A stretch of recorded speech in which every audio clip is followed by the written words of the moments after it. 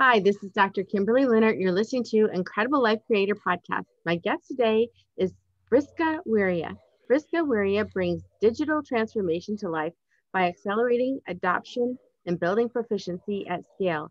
Having worked for some of the biggest names in mining, engineering, and technology, a change and transformation expert for nearly a decade, she's led change programs influencing up to 23,000 people across the seven continents, technology implementations, operating mo model designs, M&As, and restructures.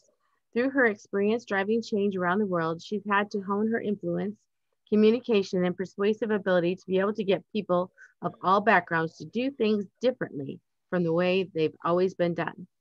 Welcome to the podcast, Maria. Thank you so much for having me. Yes. So, um, just so people can get to know you, why don't you tell us a little bit about you, your story, and how you got to be doing what you're doing now? Yeah, sure. So, um, as you said in my intro, I help organizations and the individuals within them more rapidly accept and thrive through change. So, I've been doing that for nearly a decade now, applying my learnings in cities as diverse as Melbourne to Mumbai to Manado. And it came because I have had to change my own life multiple times. Um, and now I help organizations do the same. Mm-hmm. Wow. So, and you are from Australia. Yes, uh, most of my life I've lived here, um, but I did spend four years in Los Angeles. Okay, wow, across across mm. the world then. Mm. Wonderful. And what is it about what you do that gives you the energy and the motivation to wake up every morning? I think because every day is different and there's no cookie cutter approach. Every organization is different some changes may be similar, but um, you can't just pull a toolkit out of the box and apply it to the same in every single company because it depends uh, on the leaders, it depends how good you communicate, and it also depends on the culture of an organization. So it's it's like a puzzle to me, and that's what keeps me going. I like diversity. Mm-hmm. Wonderful. And what do you mean when you talk about diversity? As in, um, like a change manager's job, it's not uh, the same in, uh, for example, I could be acting like a chief of staff, helping the CEO of a company uh, put together his town hall presentation. I would help him reserve, rehearse. I could put him together the talking points. And then the next day, I could literally be out um, on the front line because I have worked with the police very closely, literally in the back of their police van, seeing how they interact with different pieces of technology, um, identifying opportunities to improve their proficiency. So yeah, that's what I mean by the diversity. It's it's it's not a one size fits all sort of role. Mm-hmm. So tell me about that working with the police. Any great stories about that, or any aha moments during that time? That was by far the what my, one of my best memories. So it was a $42 million technology implementation, uh, the largest of its kind for the world's single largest police jurisdiction. And they were, the role was to help them replace its CAD system. CAD stands for computer aided dispatch. And it's the system that all the other platforms and other government departments integrate to. So it was literally like a heart and lung transplant. The old heart was 10 years old. And, you know, in 10 years, technology has progressed rapidly. So it was like going from the blue screen MS DOS to the latest generation iPhone. And so I had to take the heart out, replace it with a brand new heart, a pacemaker, if you will, and then reattach all the arteries and the systems back together again. Why I enjoyed it so much is that it was just so different. I was out you know, on the speedboats with the water police. I was out in the stables um, with the with the mounted police, um, with the canines. Um, was in helicopters. I even did the obstacle course. So it was very much an immersive change. And because the impact of getting that right or wrong uh, was life or death. Like imagine sending, you know, a, a triple zero. Well, in for those in America, a nine one one call. Imagine sending dispatching police cars to the wrong location. Like it, it, the stakes were high. So that's why it was one of the most fulfilling projects I've ever had. Wow. So you worked with talk about that talk about diversity mm. from the horses to the whatever and to the miners miners to the, yeah. to the everything yeah. so mm. and I'm sure they all had you know different personalities and even you know within the the groups within the police i'm sure you know the people who rode horses had a totally different personality to the people who were in cars or on boats or whatever. Oh very different. Cultures yeah, within different. cultures. So and, and then you're bringing in something new and i don't know about anyone else but I, I hate it when they bring in a new computer system. And you mm. weren't just talking about a computer system. You were talking about a an overhaul yeah yeah system. an overhaul yeah. So with all these people and all these personalities and possible attitudes about things or feelings about mm. how you know change or not wanting to change how did you get buy-in? Well this is the thing um, people give up too easily. They think that after one meeting everybody's supposed to love it and sign on the dotted line and say yes i support it. It doesn't work like that. So i re- you just have to be really consistent persistent and dedicated like anything in life that's worth having. Those are the three qualities. Um, when it comes to how to get by and you have to start with the basics. You really have to get to know who you're talking to. So really get into their head. What are their fears? What are their desires? How can you motivate them? If you can't influence them then find out who can. Widen that sphere of influence. And you know that project impacted seven and a half thousand officers um, one and a half thousand civilians and it enabled you know the entire state of western australia to maintain its quality of life. So that's about 1.2 million. And you cannot execute a change of that scale by yourself. And that's why it's so important to build the capability of um, an organization's leaders to role model the change, to advocate for the change, make sure that they know what their role is in bringing this change to life. It's not just about signing off on budget, you know, it's about making your personal commitments to the people that are resistant um, and being clear about what you will do to help this to help make this a success so i mean change is not a spectator sport and where a lot of organizations fall over is that they think it's my job they think it's the change manager's job to manage resistance. It's not. We can help you develop the strategy, we can pinpoint areas of contention, but it's you as a leader um, that have to, you know, pull up your sleeves and get and do your part. Mm-hmm. So yeah, a lot of times there's things that people in upper management or the CEO they want to implement or change, but they, you know, they have these huge organizations, mm-hmm. and a lot of times the people who are more in the peripheral of the an organization where they're not up by the heart where the decisions are being made mm. Um, they might not really understand why it is these changes are happening or they might not um, buy in just based on the, the, they just don't see the reason for it so yeah, yeah. if someone um, who is in leadership wants to make those changes how do you work with people to help them understand what their piece is or what their what's the importance of what they're doing and why it's important to change as in a leader why what's the importance of it, what they're doing right so how is it that they communicate to the people who are working with them at the different levels to get mm-hmm. them to actually um, understand their importance or their piece in it because sometimes you know, people think, well, the CEO is the most important, but you know, my role is not that much. You know, it doesn't matter I see, what I, I do. Yep. Yep. You actually touched upon the answer earlier when you asked me the question, and that is always being crystal clear and repeating over and over again why, why, why, why, why, why. What is the benefit, not just to the organization, but but to their department and how it links to their role. That is ultimately the most important. And in terms of um, how leaders can best communicate with their teams to encourage them to adopt and be more open to change. Um, I call it the five C's, and that is context, consistency, clarity, um, uh, conciseness, and commitment. And the first one is the most difficult, and that is context, because leaders have been privy to information that people lower down the ranks have not, sometimes for weeks, months on end. So when they they often neglect to give that full picture to the people that they're communicating to, and so if they don't do that, they will find it hard to understand, like you said, why we're we doing this in the first place. How is it better to what we've got now? So context is key um, to solidifying that understanding. Okay. Yeah, exactly. because I had an experience. Um, I'm an optometrist, and I had Mm. patients coming in at this certain location where I was working, uh, coming and working from this specific company. And every time I asked them, hey, what do you do? These Mm. people, someone had did a great job of actually educating them because no matter what level they were in the company, they came in and said, This is my job. This is what I do. And we make these really cool things that they're used all over the world. They were these big containers.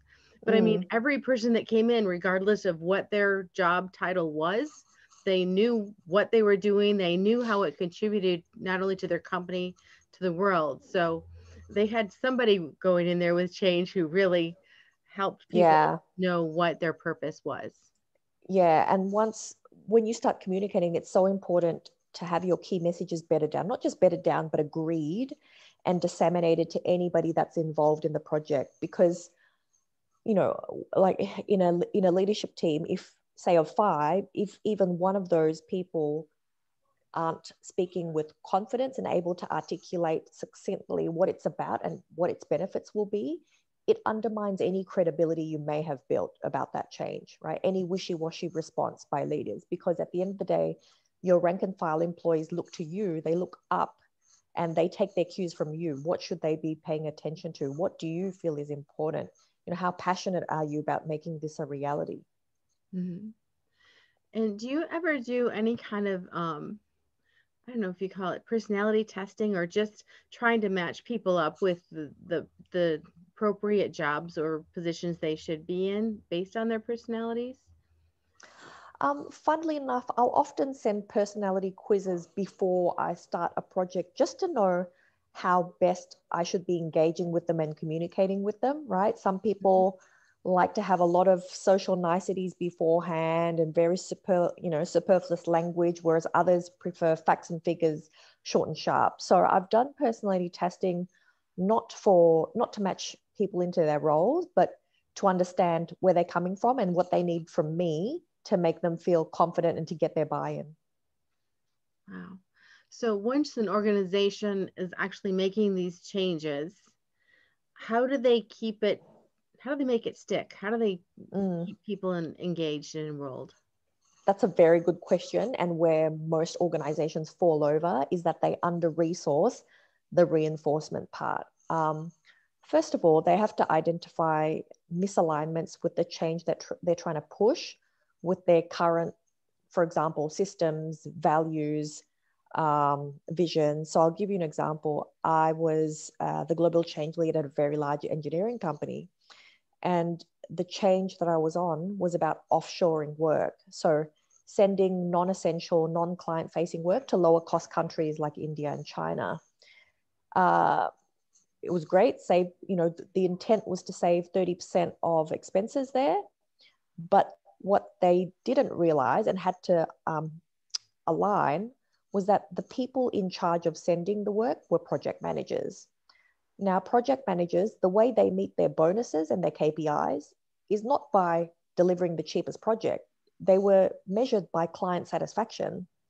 Mm-hmm. And so they had no reason no motivation, no desire to send work offshore to someone that they didn't know, that they didn't trust, with no guarantee of assurance, because that would hit them in their back pocket. So things such as that need to be identified. Um, the metrics and the adoption of the change need to be anchored into um, reward and recognition schemes. Um, I'll give you another example. When I was uh, heading up the change function at the largest gold miner on this ASX, it was focused on digital transformation.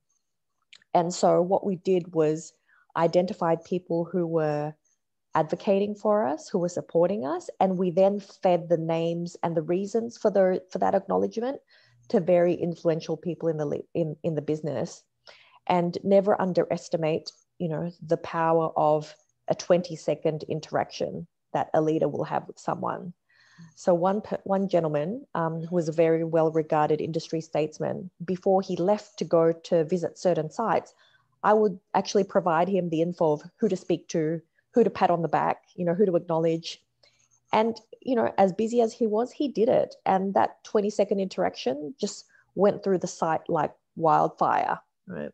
So yeah, it was very, very powerful. And lastly, um, for anything to be sustained, it needs to be supported. So it needs to be integrated to reflect that it's just the way that the business operates now and things like that like for example updating people's job descriptions if it's relevant you know creating standard operating procedures so mechanisms need to be in place so that when the project team disbands and walks away the change doesn't walk away with it mm-hmm. and has it been your experience that after you go in and make these changes and you put in the the things needed to to sustain it is it normally sustained for a year, two years? Um, what has been your experience? Do you ever go back and check in with them and say, okay, how's it going? Yep. Um, how long it's sustained is depends on how long someone is owns the benefits and the ownership of the metrics. Yeah. If no one's measuring it, some it it loses visibility and suddenly it's not important anymore. So it's it's hard to answer. The ones that have consistently measured and assigned a benefits owner to it and it's on the leadership radar, the change is still there and it's appropriately resourced as well because change doesn't happen by magic with no effort and no resource, no budget, no scope, right? Mm-hmm. Mm. Yeah, and just talk about that measuring things. So, how important is it to measure things in in any area, and how do we actually make accurate measurements of things? Mm. So, um, okay, bit by bit. First of all, it's, it's very important to measure because if you don't understand where you are now, how are you supposed to know if you're improving or actually de- decreasing in improvement? Um, in terms of measurement, it depends on the change, but there are types of metrics. So there are individual metrics, there are team metrics, and there are organizational metrics. And for example, if you're rolling out a new, I don't know, finance system, it could be um, before you put the new system in, maybe you could process 50 invoices. Now you can process 500. So it's things like that. So, you know, the, the process efficiency, um, the number of people that get on board, how quickly they go to get on board, and how proficient they are when they get on board. So those are the three main buckets that together um, measure the ROI of a change management effort. Um, you can also uh, measure qualitative data, like how how satisfied people were with the communication, how satisfied they were with the training, um, how engaged they were throughout the process, um, leadership feedback. Yeah. Mm-hmm. Wonderful. Thank you for explaining that because I think that's one of those, um, unless you're, you know, higher in an organization, that's one of those things that you wonder, okay, how do they do that? So yeah, th- there's still a lot of um, cloak and dagger mystery around it, mm-hmm. which is also why it's it's um, still quite a misunderstood discipline, and it's very easy to be struck off the budget. Mm. Mm-hmm. Yeah. So um, I know that uh, besides actually working with companies, you have several causes that you are really passionate about. Do you want to talk about that?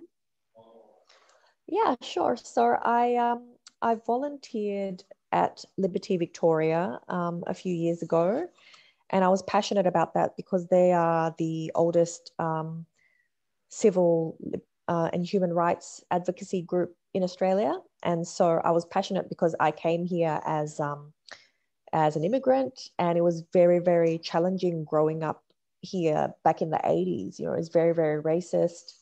Um, I've been spat on. I've been told to go back where I come from. I've had rotten fruit thrown at me, and I don't want anyone to go through the same. So that's a cause um, close to my heart. I also used to volunteer at a few um, women's organizations helping uh, abused and battered women uh, re enter the workforce, whether it be polishing their CV, um, you know, uh, personal style, um, interviewing practice. Yeah. Mm-hmm. Wonderful. So, where did you grow up? I grew up in Perth for primary school, then high school in Sydney, then university in California, and then back to Australia. And I'm currently in Sydney. Okay. And uh, being those different places, do you notice a difference in people from one place to another?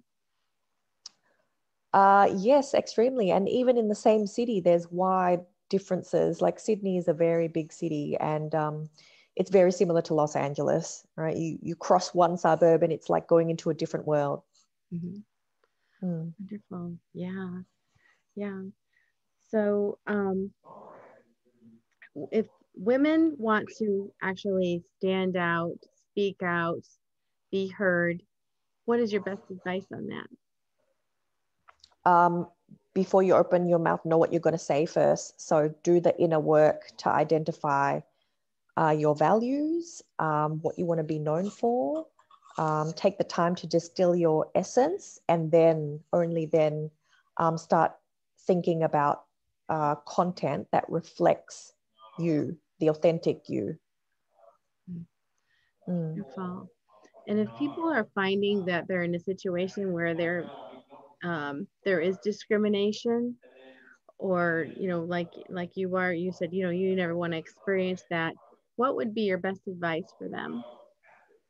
If they're facing discrimination? Um, i would say uh, get support um, find out who the who can push that needle forward for you as in who are the key influences in your organization and then start developing relationships with them and then proactively um, help them achieve their objectives because it's all about the law of um, reciprocation. Mm-hmm. Uh, you help first and then it'll come back to you 10 times more. Mm-hmm.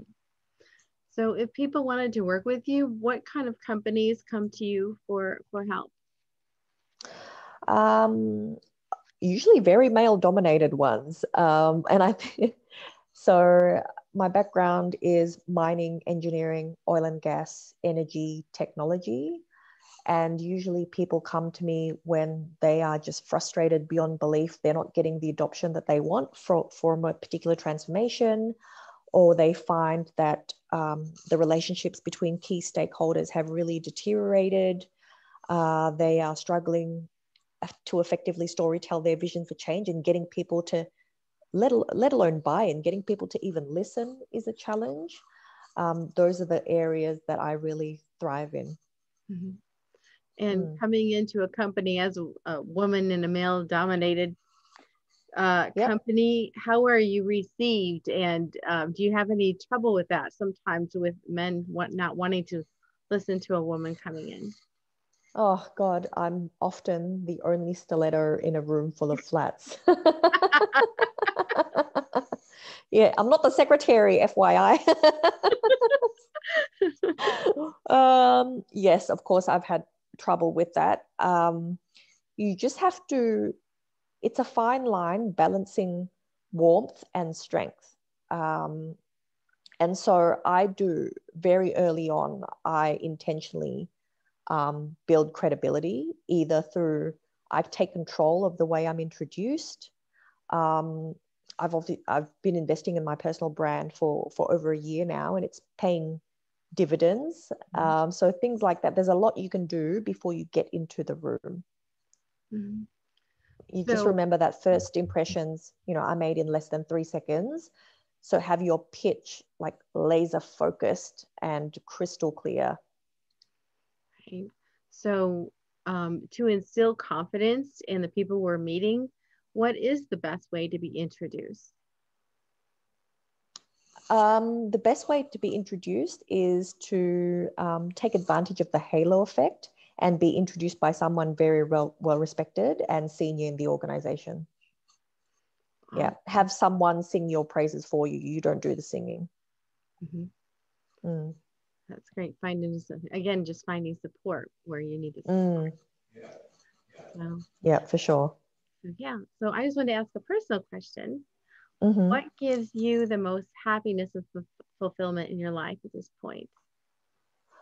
Um, happiness and fulfillment. Well, I'm a type A person and personal fulfillment when I set very lofty goals for myself and I achieve them.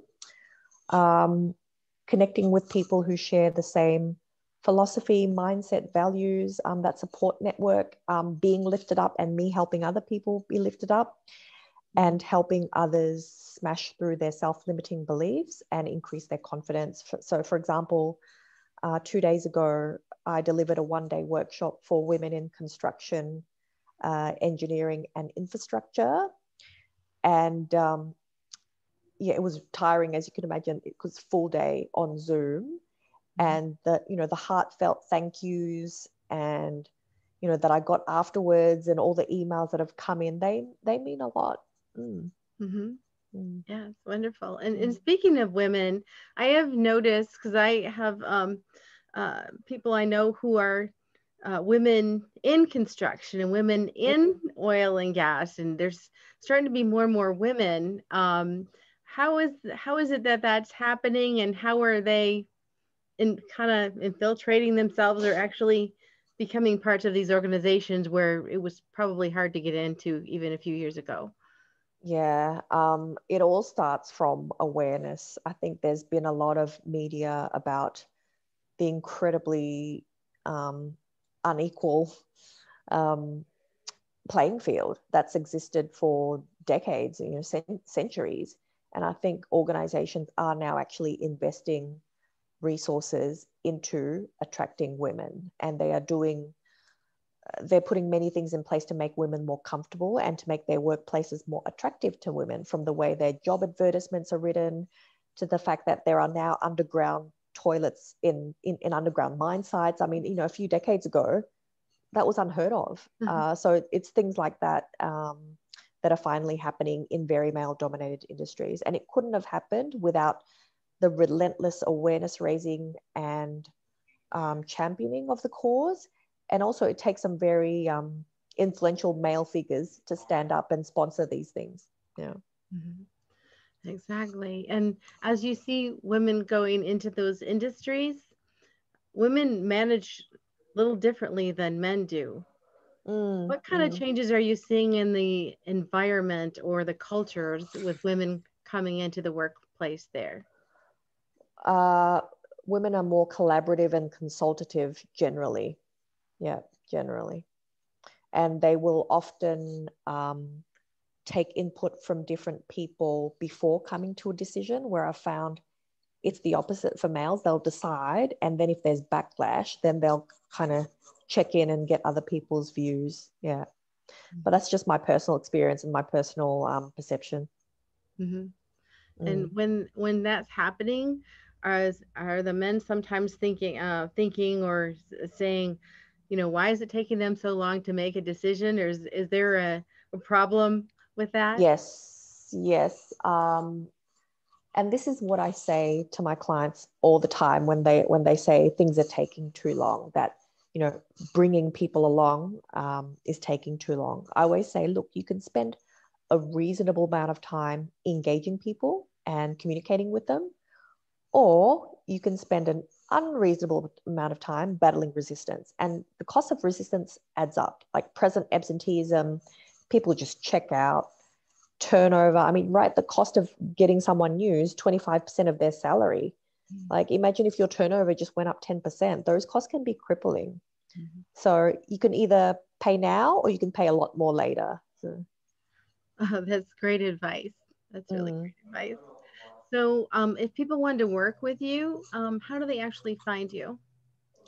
I'm on LinkedIn, so you can type my name into the search bar, or my website is freshbyfriska.com, and there's details of there how you can get in touch with me.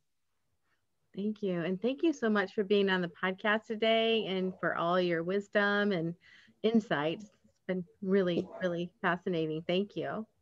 You're welcome. It's been lovely to chat. Yes. So I have one last question before we get off. Mm-hmm. What is your best advice on living an incredible, amazing life? Mm. Uh, I've got a few pieces of advice. So, family is not only who you are related to, so really cherish and value your friends. Um, I don't have family of my own, so my friends are really the family that I wish I was born with. Um, you always have a choice, no matter how backed into a corner you feel. It may not be your first choice, you may not like it. it may not be your plan A, B, or C, but you always have a choice. So um, don't be afraid to make one. Um, and lastly, uh, stop judging. Like, don't let uh, what people project externally in a meeting, on social media, whatever, don't let someone's outsides determine how you feel on the inside because you never know what goes on behind closed doors. So those are my top three. All right. Well, thank you so much, Friska. And we'll talk to you again soon. You're welcome. Thanks. Mm-hmm.